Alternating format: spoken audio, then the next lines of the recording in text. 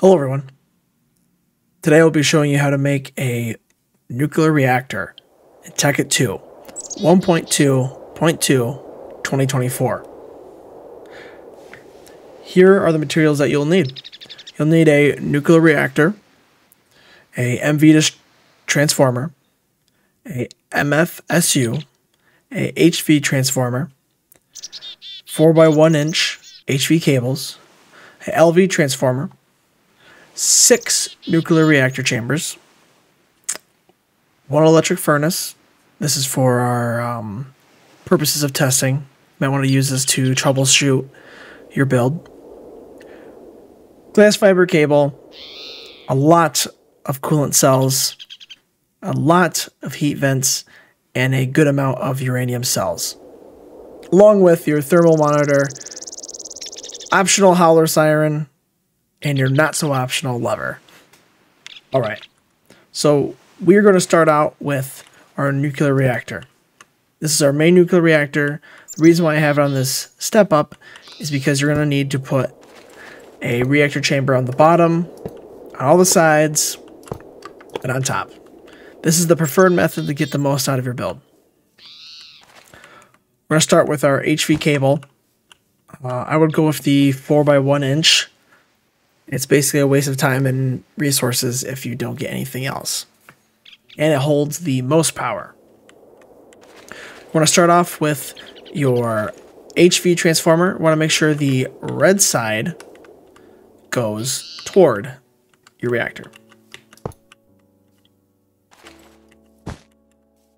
There we go, like this. You're to take your glass fiber cable and lead it up to a MFSU.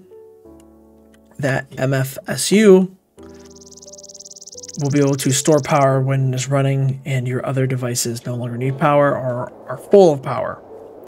And for, of course, for your any of your mechanical components, you want to have a electric wrench. This is important because if you try to break it with a pickaxe or any other item, it will disappear. So after you have your MSFU down, MFSU, yeah, MFSU down, you want to get your glass fiber cable and hook it up to your MV. Of course, you want your red to be this way. Of course, it's my apologies. MFSU this way. Green going your inlet. See, red is your inlet. So is green for your MFSU. Glass fiber, then LV transformer. As you see, want to take a look. Let me pause this video real quick and look at the sequence. There we go. Now, for our test subject, we're going to have a electric furnace. That's going to test how much power we have. And let's just put some gold ore in there. There we go. Get that in there. Now, going to want your thermal, uh, your optional howler, alarm, lever, and redstone. Then we'll get up to these later. First and most importantly, in my opinion, is your thermal monitor. Keep it at 500, don't change it. That is, that should be the absolute hottest your generator or your reactor should be. Hook it up to this howler alarm, which we will see how that works later, in conjunction with this. Of course, your lever. It's very important.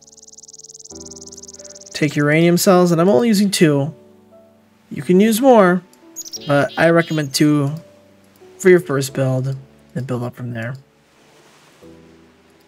Going to surround this with our heat vents. Obviously, this is just for test purposes. Get more 10k coolant cells or the double coolant cells. Way better for the amount of time or the amount of energy you want to output.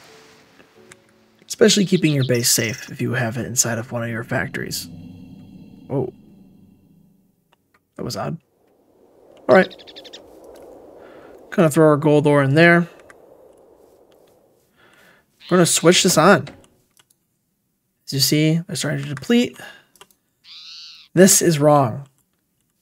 Now, this is my apologies. I will redo this. This is my bad. I'm to put it out this way. Green. Green means go. This transmits. So you see? Gold ingot. This is starting to collect power. There you go. That is your nuclear reactor. Now, for the howler siren, what does that do?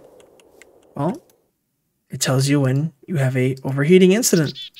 So we're just going to take all these cooling instruments out and let this overheat.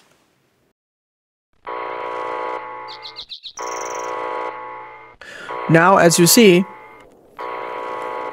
when the reactor overheats, it sends a redstone signal through the thermal monitor, which activates the siren.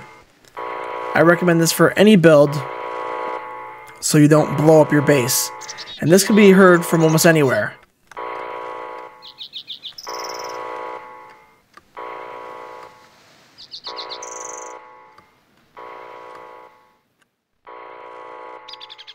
Yeah, so you hear from that far.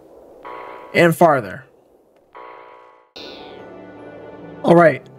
Now, while the reactor is overheating, it's starting to smoke. Obviously, you'll see visual smoke, and for all intensive purposes, I removed some of the equipment attached to it so we can speed up the heating process. Okay, as you guys see, it is now starting to explode.